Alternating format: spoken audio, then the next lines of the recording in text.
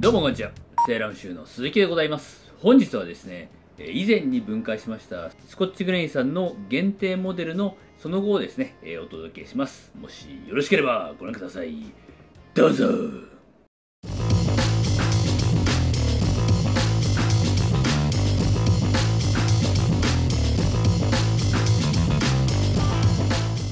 本日はですね、こちらでございます。こちらの靴はですね、えー、と以前の動画でご紹介しましたスコッチグレインさんの2005年版の、えーリミテッドエディションのモデルでございます、えー限定モデルですね。多分毎年かな、えー、とスコッチグレインさんですね限定モデル。としてですね、まあ、レアなデザインであったりとかレアな革だったりとか、まあ、いろんなものを使ってですね、えー限定モデル出されております。で、えーこれなんですけども以前の動画であのソールがかなりボロボロだったので分解させていただきました。今どういう状況かというと、えーこんな感じですね。よー。コルク入れまでが終わっております。はい。ままですねはい昨日の夜中ですね実はこれ作業をしていましてスマホの充電が全くできていなかったので写真だけね、えー撮っておきました。まずはですね中にこうシャンクを埋めますけどもこちらのえー樹脂のものではなくって、えー鉄のものを使いました。なんでオリジナルのシャンクを使わなかったかというとですねこういう感じで、えー隅々までコルクを入れたかったんですね。広い面。にコルクを入れたかったというのがあったので、まあ、今回はですねこちらのオリジナルのシャンクではなくて、えーとスチールのシャンクを入れました。自分が習った方法だとですねこのシャンクの開いている穴の部分ですねここにですね木の釘。ペースというんですけどもそれを打ち込みます。打っているところもあれば打ってないところもありましてで実際に手製の靴なんかを履かれている方だと中のこの辺にですねポツッともしかしたらこう木の釘の跡が出ているものがあるかもしれません。伝統的な手製靴の作り方のものだと思っていただければ大丈夫です。はい。なのでここにこうもしねなんかこう出っ張りがあるとしてもエラー品とか欠陥品とかではありません。シャンクはですねきちんと接着剤を使ってそこに固定してでその後にコルク。を入れました。はい。でコルクに関してはえー自分の場合はですねコルクシートとか持っていないので、えー、と練りコルクっていうものですね。手順で言うと靴の中にですね実際に盛ります。パラパラの状態で、えーコルクを盛ります。はい。でその量をですね紙の上に落として密度が詰まって圧縮させていくのでえーそれ考えると1割2割ぐらいは、えー後から追いコルクをします。はい。追いコルクをしてですねで、えーその後にラックボンドというものを混ぜます。まあ足りなかったら足せばいいっていう感じなんですけどもでそれでしっかりと練ってですねでそれを、えー靴の上に持ってって、まあ、一般的に言われてるのはここですね。ここをあまり丸くしないということです。ここの部分はなるべく平らになるようにという感じですね。ここの丸みっていうのは結構後から押さえきれないのでハンマーでね叩いてもここってなかなか平らにならないんですよ。なのでここはしっかりと平らにしておくと。まあこの踏まず部のあたりのですね丸みを帯びるというのは問題にならないようですね。と乾くまで、えー数時間置いてですね指でね押しながら膨らんでいてなんかこう密度が甘いところなんかねしっかりとここで調整していくという感じですね。これがいわゆる中物と呼ばれるものですね。でえっ、とここにですねと今現在こうやって、えー木の釘ペースっていうんですけどもこの木の釘をですね昔ながらの感じでこう打ち込みました。でこれ打ったらいいんですけどはい。こちら見ていただけます分かりますかね？木の釘をですねこうやってこう対象対角線でこう打ってったらですねここのところがですねメリメリってこう割れてしまったんですよ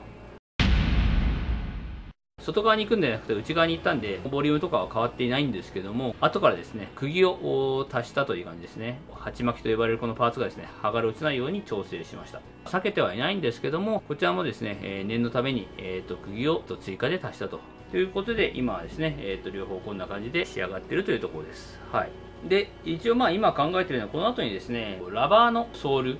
を足していこうかなと思ってます。ちょっとこう雰囲気を変えようかなと思ってます。まあもともとねえっ、とこれ黒とワインカラーのコンビなのでまあちょっともう少し跳ねてもいいのかなと思ってですね明るめのラバーソールを貼ってですねちょっと雰囲気を変えたいなと思っています。で手術流を入れたところですね結構やっぱりこう皮が乾燥していて出し縫いのえー作業等もありますけども皮の柔軟性があった方がアッパーの皮へのダメージも少なくなるはずなのでちょっとこれからデリケートクリームだったりとか、えー通常の乳化性クリーム等々をですねしっかりと入れて、えーなるべくこう柔軟性を保っておこうかなと思います、まあ、それをやることで今後の癖のね、えダメージを抑えるということになります。ということでですねしっかりとねメンテをしていきます。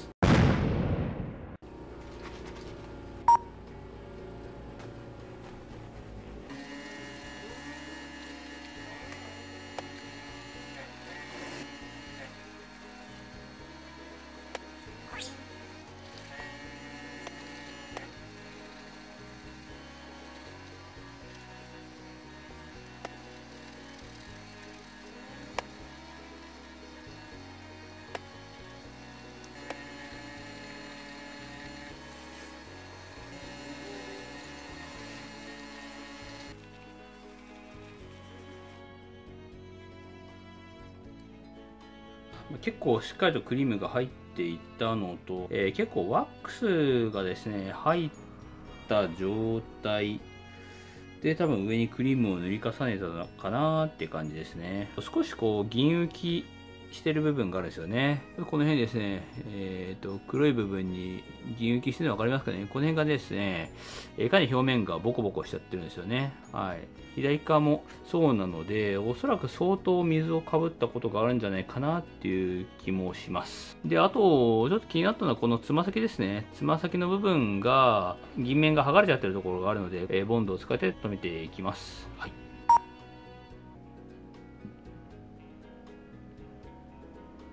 こんな感じでね少しこう立ってるの分かりますかねここ。はいこんな感じで、えー、銀面が剥がれちゃっています、はい、これをですね接着剤でつけていきます。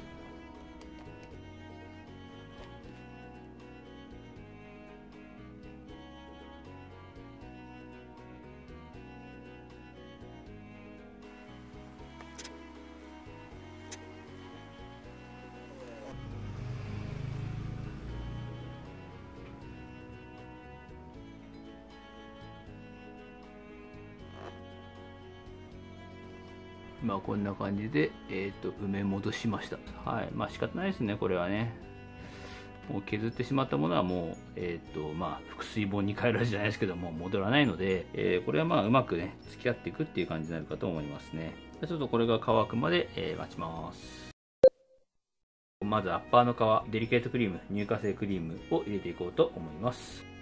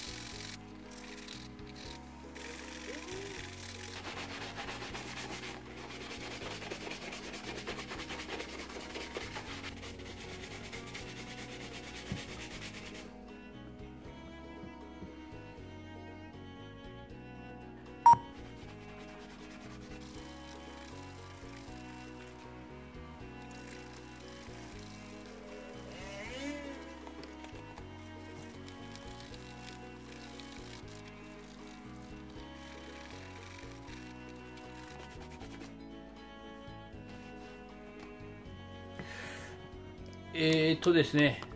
まあ、今回に関して言うと、なんかこの後こう仕上げとかっていうわけじゃなくて、やっぱりこうね、次のこう工程のためにですね、こう皮をしっかりと、まあ、復活させてやるというところがま大事なのかなと思いまして、デリケートクリームと乳化性のクリーム、この2つを入れてですね、今回はこれで、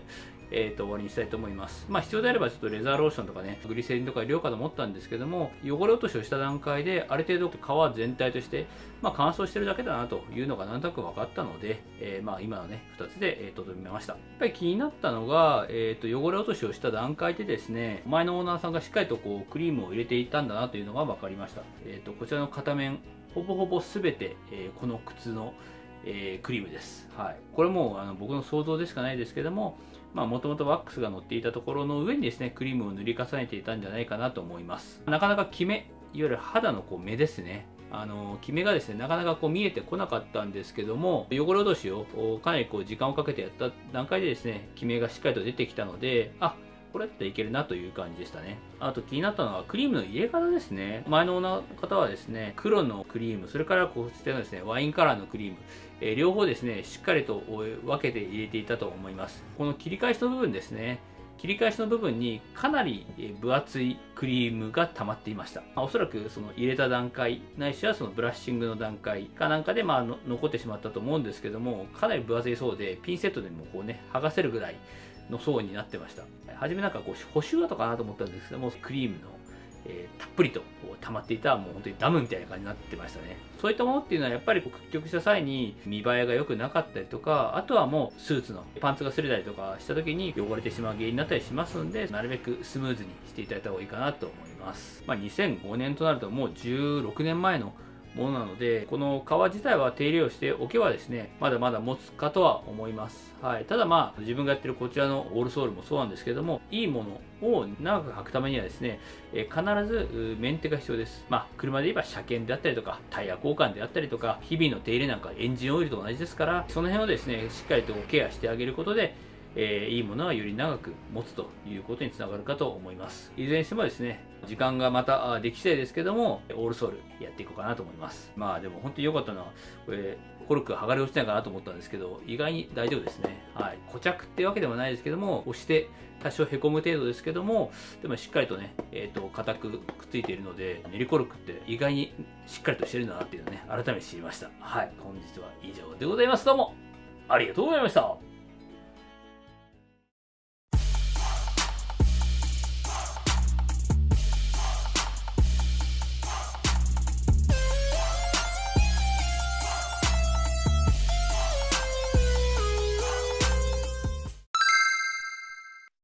今回ですね、半年前の映像でしたけども、スコッチグレイさんのオールソールの途中経過でございました。一応この後なんですけども、ダッシュニーの糸もですね、全部あのハンドで縫っていく予定です。で、その後ですね、コバの仕上げなんかも含めてですね、すべて、まあ、グラインダーとか打ちないので、基本的にはこうヤスリを使って手作業で、え仕上げるということになります。外編はまた、あの、改めてお伝えいたします。まあ、ちなみになんですけども、突っ込まれるの前提で、え、今回はですね、えっ、ー、と、鉄のシャンクに切り替えました。これはまあ、中でも言っていた通り、やっぱりちょっとコルクをですね、全面に敷きたかったんですよね。好みもありますし、あとはカスタムのあの指向性もあるかと思います。もう人によっては、スコッチグレインさんのオリジナルのパーツを使ったオリジナルの履き心地が欲しいという方もいらっしゃれば、自分はちょっとヒールの高さを変えたいとか、えー、自分はちょっとこのソールを使いたいといったカスタムをされたいという方もいらっしゃるかと思います。この振れ幅に関しては、えー、正直なところどれが正しいとか、どれが正しくないっていうわけではなくて、基本その人のライフスタイルに寄り添う形での好みになるかと思います。なので、え、どれを選ぶかは本当に皆さん次第ということになります。まあね、あのせっかく今は、えー、ググれば、え、いろんな情報が出てきますので、ご自身のライフスタイルに合った商品をお選びになって、まあ、それで微調整が必要なのであれば、お近くのそういったカスタムしていただけるリペアショップなんかとお付き合いされるとですね、よろしいかなと思います。ということですね、えっ、と、本日は以上でございます。チャンネル登録、それからグッドボタンを何卒よろしくお願いいたします。本日もご視聴いただき、あざした良い週末を。